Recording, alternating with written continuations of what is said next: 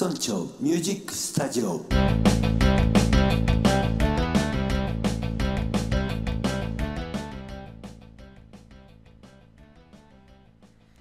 はい皆さんこんにちは村長です、えー今日はご機嫌ですね、えー、ユージャムさんが新しくベーシストシリーズがバージョン2に、えー変わりました。アップデートは2日ほど前なんですけれども今回の目玉というのはですねフィッシャーのエフェクターがあ追加されたことですね。それともう一つがですね、えー、MIDI の書き出しができるというドラッグドロップでですね、えー DAW の方に持っていけるということで、えーそこらを中心に、えー見ていきたいと思います、えーまずはですねコード進行を作らないといけません。僕はこのキャプテンコードの方でコード進行をこんな風に、えー作っています、えー単純なコード進行です、えーそれをドラッグドロップで、えーユージャムさんのローディの方に、え今こう流しました。それでまあこれ一度ミュートしてですねどんなコード進行かっていうのだけを少し聞いていただきましょう。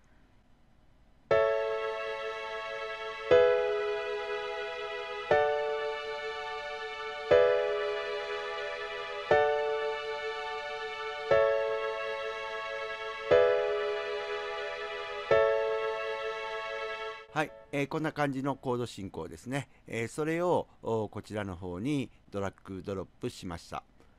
そして、えーユージャムさんのローディーですけれどもこれで、えー音を鳴らすとどんな感じになるか、えバッキングも一緒に流してみますね。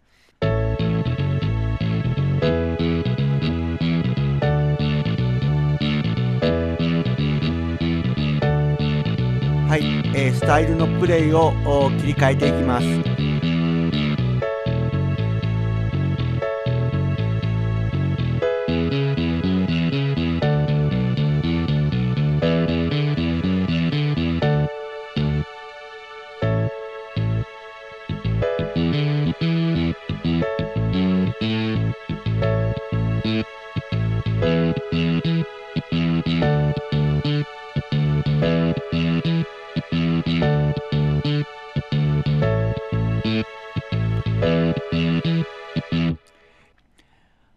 ここで、えフィッシャーの方のエフェクターの方も少しいじってみます。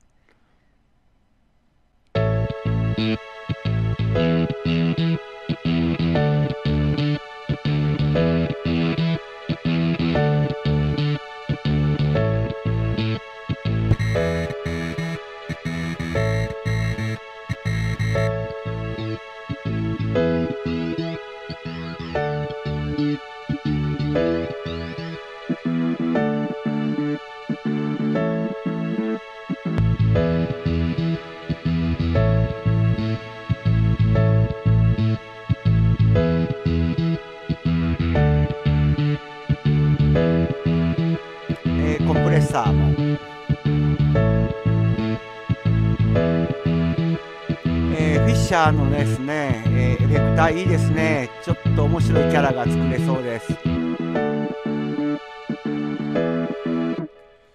ということでこうやりながらですね今はワンパターンなスタイルプレイをやったわけですけれどもこのスタイルプレイというのはですね、えー左側のこの領域にコモンフレーズという一般的ないろんなベースの奏法のフレーズが入ってましてそして、えこちらの方はですね、え上で選んだ中の12音、えそして最後はここはあの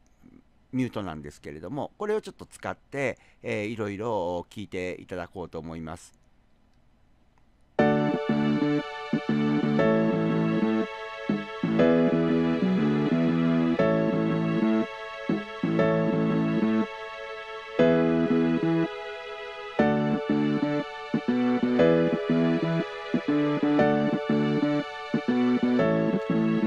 フレーズの方もやってみますね。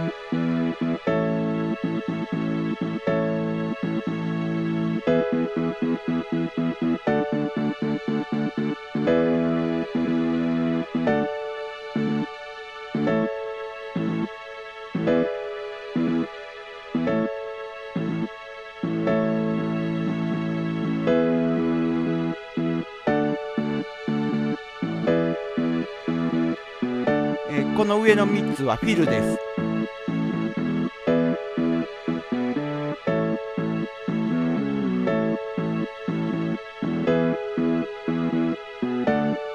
またスタイルを変えてみます。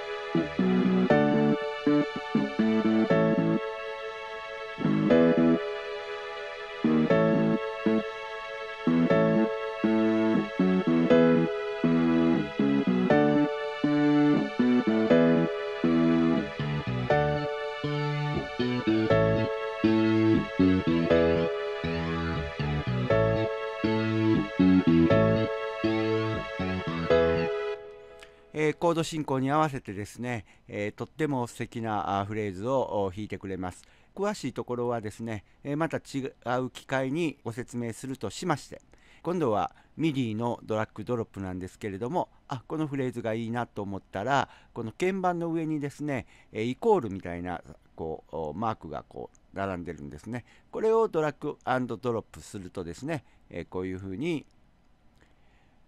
フレーズが、えここに並ぶということですね。ここに並ぶということはイコール編集ができるということなんですけれどもこれをちょっと聞いてみましょう。えー上はミュートしますね。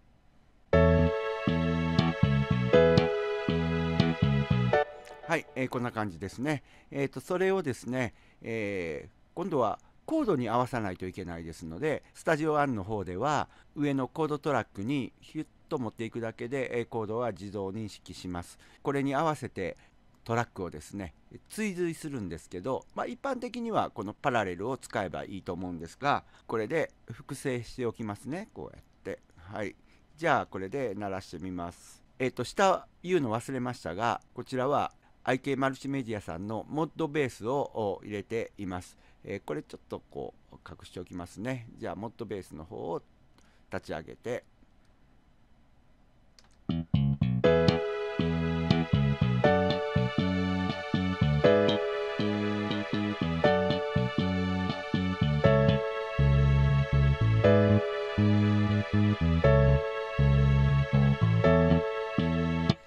からあこちらの方で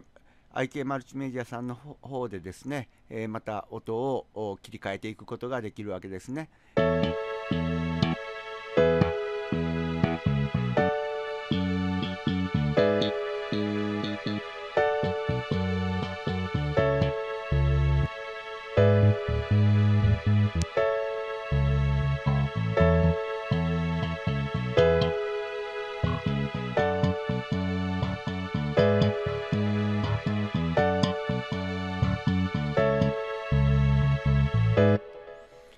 ちろん MIDI に書き出せるようになったということはですねこういうふうに編集することができるわけですねそしてベロシティにおきましてもですね、えー微妙にちゃんとですね、えーこちらに来てくれてますのでユージャムさんで作ったノリで使えるということもできるわけですね。えーまあ、MIDI に変えるということは、まあ、そういうこととですね、えもう一つはこの MIDI を同じユージャムさんの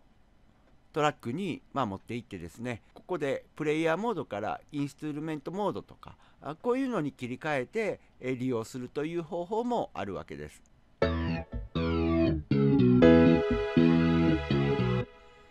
こういう感じでですねユージャムさんの方でこういうこともできるんですけれども他の音源で鳴らしたいという時に